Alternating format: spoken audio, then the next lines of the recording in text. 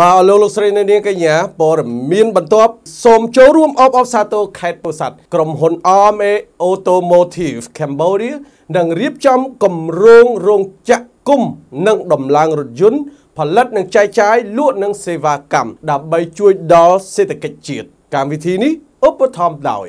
ប្រូវីដាទឹកស្ព្រីងសុខភាព មានប្រភពពីទឹកផុសជួរភ្នំកំពត សារធាតុរ៉ែពីធម្មជាតិឆ្លងកាត់ប្រព័ន្ធចម្រោះមីក្រូវ៉ាច់ឆ្លាតពីសហរដ្ឋអាមេរិក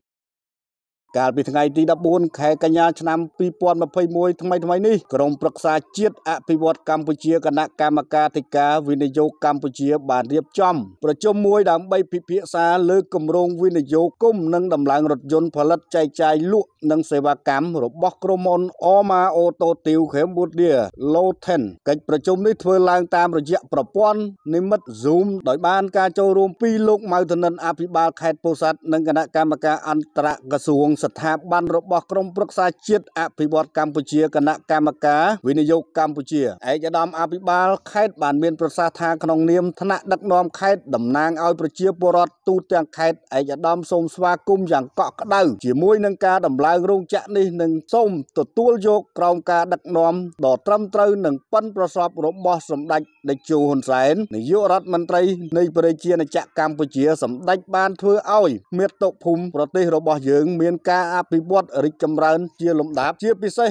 ខេត្តពោធិ៍សាត់ត្រូវបានទទួលនៅមរតកអមតៈជាច្រើនដែលថ្ងៃនេះទទួលបាននៅមរតកថ្មីមួយបន្ថែមទៀតគឺរោងចក្រ ផ្គុំនិងដំឡើងរថយន្ត Ford ជាក្រុមហ៊ុនអន្តរជាតិល្បីល្បាញលើសកលលោកឯកឧត្តមបន្តថាមានក្តីសង្ឃឹមយ៉ាងមុតមមថារោងចក្រនេះដែលបង្កើតនៅក្នុងទឹកដីខេត្តពោធិ៍សាត់នឹងធ្វើឲ្យមានការលើកកម្ពស់នៅជីវភាពកាត់បន្ថយភាពក្រីក្ររបស់ប្រជាពលរដ្ឋក្នុងខេត្តពោធិ៍សាត់ជាពិសេសគឺយើងទទួលបាននៅការស្រូបយកទីផ្សារពលកម្មដែលទាំងនេះគឺជាការចូលរួមចំណែកយ៉ាងធំធេងណាស់ក្រោមម្លប់នៃសន្តិភាពដែលមានសម្ដេចបានយកអាយុជីវិតទៅបដូរទើបមានការអភិវឌ្ឍនៅលើទឹកដីនៃមាតុភូមិយើងនឹងនិយាយដោយឡែកនៅក្នុងខេត្តពោធិ៍សាត់របស់យើងរីឯលោកងួនសាងអគ្គនាយកក្រុមហ៊ុន OMA កម្ពុជាបានប្រាប់អង្គភាពសារព័ត៌មាន TNM ថាកាលពីព្រឹកមិញនេះ ហ្នឹងហើយយើងបង្កើតរោងចក្រដំឡើងរថយន្តមួយនៅស្រុកកកខេត្តពោធិ៍សាត់ហើយដែលយើងអាចគិតថាប្រហែលជាចាប់ឡើងក្នុងឆ្នាំក្រោយនេះបាទគឺជារោងចក្រដំឡើងដំណាក់កាលទី1គឺដំឡើង មានន័យថាយើងនាំយកគ្រឿងបង្គុំទាំងអស់មកមកដំឡើងនៅនឹងបាទអញ្ចឹងអ្វីដែលជួយដល់សេដ្ឋកិច្ចជាតិហ្នឹងគឺទី1គឺយើងផ្ដល់ការងារជូនប្រជាជនយុវជនយើងអញ្ចឹងណា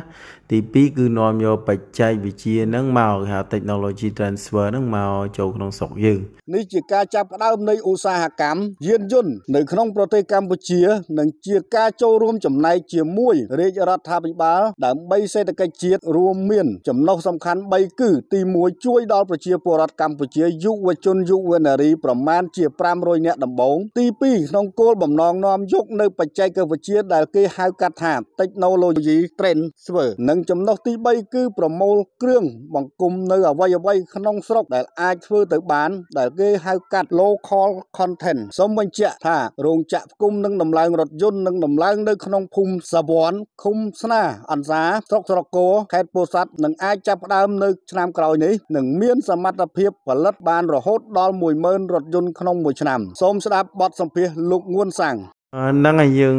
បង្កើតរោងចក្រដំឡើងរថយន្តមួយនៅស្រុកកកខេត្តពោធិ៍សាត់ដែលយើងអាចគិតថាប្រហែលជាចាប់ឡើងក្នុងឆ្នាំក្រោយនេះបាទគឺជារោងចក្រដំឡើងដំណាក់កាលទី1គឺដំឡើងមានន័យថាយើងនាំយកគ្រឿងបង្គុំទាំងអស់មកមកដំឡើងនៅនឹងបាទអញ្ចឹងអ្វីដែលជួយដល់សេដ្ឋកិច្ចជាតិហ្នឹងគឺទី1គឺ យើងផ្ដល់ការងារជូនប្រជាជនយុវជនយើងអញ្ចឹងណាទី2គឺនាំយកបច្ចេកវិទ្យាហ្នឹងមកគេហៅ technology transfer ហ្នឹងមកចូលក្នុងស្រុកយើងហើយបន្ទាប់មកដំណាក់កាលទី2ទី3វានឹងមានចាប់ផ្ដើមយកគេហៅថា local content មានន័យថាយកអ្វីដែលមាននៅក្នុងស្រុកអាចអាចអាចបានគឺយើងយកក្នុងស្រុកមួយមួយចំនួនទៅហើយនេះគឺជាការចាប់ផ្ដើម គេហៅថាឧស្សាហកម្មយានយន្តនៅស្រុកខ្មែរហើយព្រោះថានៅស្រុកណាក៏ដោយដំបូងគឺចាប់ផ្ដើមពីបង្គំ100%នាំចូលពីគេ100%បន្ទាប់មកគេចាប់ផ្ដើមអូខេមានគ្រឿងបំណែកមួយផ្នែកពីរផ្នែកបីផ្នែកនៅក្នុងស្រុកអញ្ចឹងជាការឡើងបន្តបន្តបន្តទៅអញ្ចឹងណាអញ្ចឹងក្រោយមកវាអាចនឹងកើនឡើងនៅ component ក្នុងស្រុកនឹងច្រើនអង្ចាក់យើងមានលទ្ធភាពដំឡើងរហូតដល់10000គ្រឿងក្នុងមួយឆ្នាំសម្រាប់2 3ឆ្នាំខាងមុខហ្នឹង ប្រូវីដាទឹកស្ព្រីងសុខភាព មានប្រភពពីទឹកផុសជួរភ្នំកំពត សារធាតុរ៉ែពីធម្មជាតិឆ្លងកាត់ប្រព័ន្ធចម្រោះមីក្រូវ៉ាច់ឆ្លាតពីសហរដ្ឋអាមេរិក